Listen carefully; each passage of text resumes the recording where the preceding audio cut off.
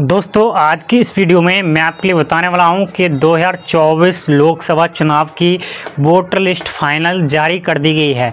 अगर आप भी अपना वोटर लिस्ट में नाम देखना चाहते हैं, या फिर आप अपने फैमिली, पर्सन का, किसी का भी नाम देखना चाहते हैं, या फिर आप लोग वो लिस्ट नॉलेज पर्पज़ के लिए चाहते हैं कि मुझे अपने गाँव की, अपने नगर पंचायत की जो है लिस्ट, मुझे वोटर लिस्ट चाहिए तो आप उस लिस्ट को कैसे पता कर सकते हो? आज की इस वीडियो में पूरा प्रोसेस दिखाने वाला हूँ। तो चलिए फिर इस वीडियो को स्टार्ट करते हैं।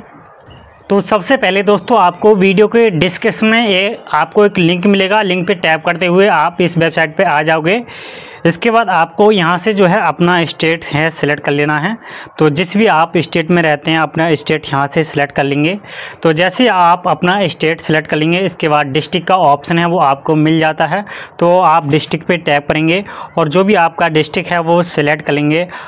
आप अपना डिस्ट्रिक्ट यहाँ से जो है सिलेक्ट कर लेंगे। मैंने अपना डिस्ट्रिक्ट सिलेक्ट कर लिया है। इसके बाद असेंबली का ऑप्शन आ जाता है। तो आप असेंबली पे टैप करके आप जो है असेंबली यानी तहसील भी चुन सकते हैं इसमें। इसके बाद तहसील चुनेंगे अपनी। तो यहाँ से मैं अपनी तहसील चुन लेता हूँ। इसके बाद आपको लैंग्वेज का ऑप्शन मिलता है। तो लैंग्वेज पे टैप करके आप इसमें लैंग्वेज चूज़ कर लेंगे। इसके बाद ये कैप्चा है वो आपको यहाँ फिल कर देना है। तो चलिए इस कैप्चे को मैं फिल कर देता हूँ। तो जैसे ही आप कैप्चा फिल कर देते हैं इसके बाद आप ऊपर की ओर स्क्रॉल करेंगे तो ऊपर की ओर स्क्रॉल करने के बाद जो भी आपने असम्बली फिल की है उस असम्बली के सारे गाँव हैं वो सभी गाँव आ जाएँगे। उस ठीक तरी, उसी तरीक़ा से आपको भी अपने गाँव का नाम इसमें देख लेना है। तो कभी कभी क्या होता है कि एक गाँव की दो दो लिस्ट होती हैं तो आप यहाँ भी देख सकते हैं कि किस गाँव की कितनी लिस्ट है और यहीं से डाउनलोड पर टैप करके डाउनलोड कर सकते हैं। कभी कभी क्या होता है कि एक असेंबली में अधिक गाँव हो जाते हैं तो उस सेक्शन में आप कैसे पता कर सकते हैं अपने गाँव का नाम? तो इसके लिए सो ट्वेंटी रिकॉर्ड्स दिख रहे होंगे, जिस पर की टैप करके आप जो है फिफ्टी रिकॉर्ड्स कर देंगे तो यहाँ पचास गाँव के नाम शो हो जाएँगे।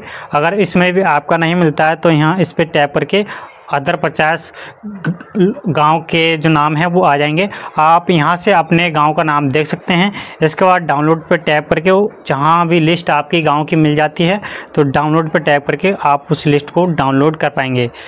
सो so, इस प्रकार से आप अपने गाँव या कस्बे की लिस्ट को डाउनलोड कर सकते हैं। आई होप आपको वीडियो काफ़ी पसंद आई होगी। अगर ये वीडियो पसंद आए तो लाइक करो